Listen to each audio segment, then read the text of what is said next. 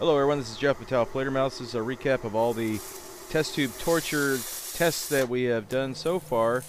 And I'm going to talk about some of the things that did not work and some of the stuff that I have planned for the future, ready to go.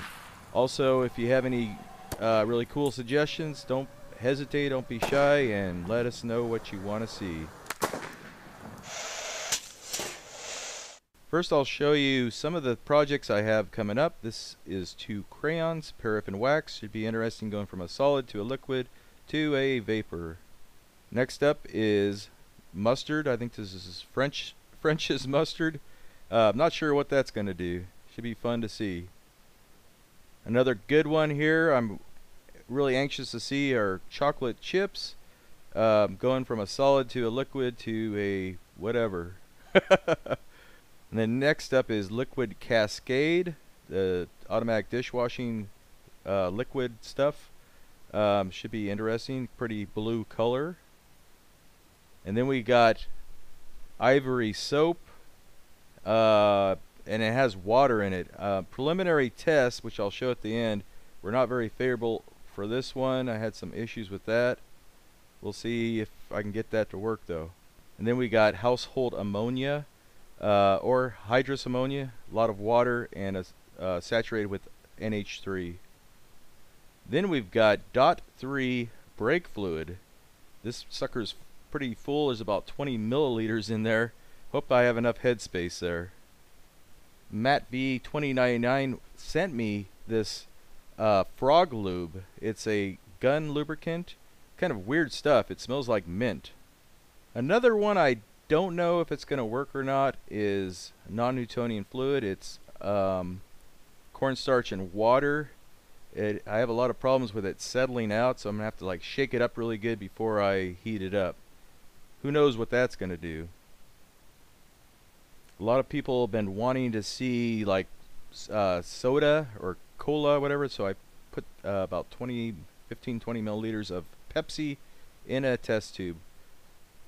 Another one I've a few people have suggested is a glow stick and I cut open the glow stick and inside a glow stick is a long glass ampule that separates the two chemicals. Um, I'm gonna have to redo this one because some of it had mixed but you get an idea what how what what's coming up here. And then finally we've got a live 22 round in here. You'll notice that it's uh, corroded. It has a lot of verdigris on there. That's from the acids in the uh, high temperature silicone that caused that.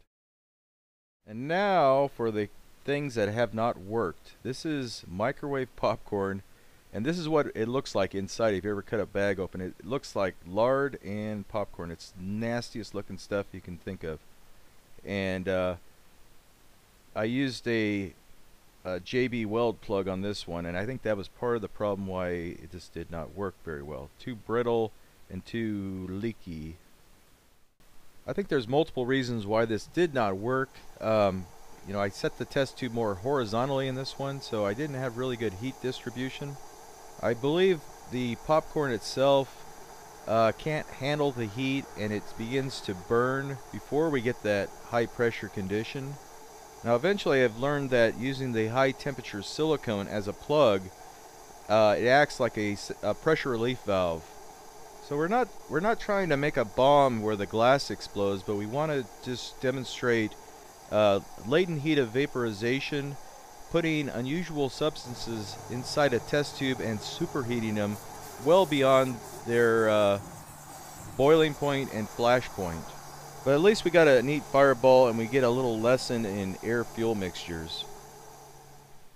Okay, and this this was filmed at 600 frames per second the moment it it started uh, developing a leak, the hot oil kind of whizzed out of there, and then the pressure started to drop inside, and the oil started to expand and flash. Now, even with all that oil mist in the air, it took a while for the air fuel mixture to be just right and to create a fireball. Remember, you need air, you need fuel, and you need heat to have fire. Typically when a test tube, even with a flammable material in there, ruptures, it just creates a big cloud that pushes all the oxygen and air away from the flame and will actually extinguish the flame on the torch. So even if we put gasoline in a test tube, chances are we're not going to get a fireball. Now this is ivory soap and a little bit of water in there. Initially I found that just heating the soap up with a torch, um, I had a lot of problems getting the soap to melt. It didn't melt like I thought it would, like you would think uh, wax or something would. So I added water as kind of a, a medium to absorb the heat. I didn't even put a uh, silicone plug or any kind of plug on this. I just put a cap on it. And the caps really don't seal on their own very well. So it's possible a lot of the pressure and steam was just leaking out as I was heating this up.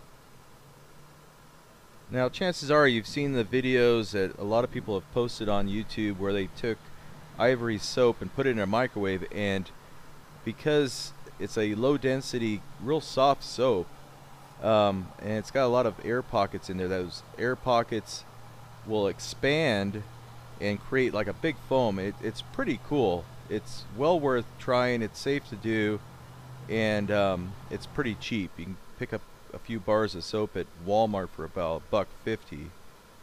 But the ivory soap in a microwave is has been so played out on YouTube that it's not even original anymore. So I wanted to do something original and uh, do it in a test tube. Uh, it doesn't look like it's going to happen though, so I do have a test tube prepared with a silicone plug. I'm going to give it one more shot.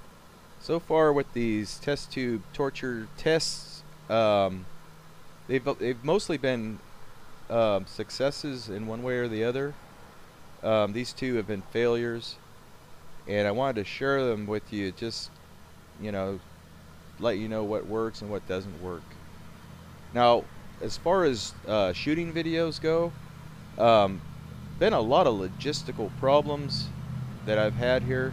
One of the great shooting spots that we've been going to, I, I call it the apiary because it's the place it has the beehives.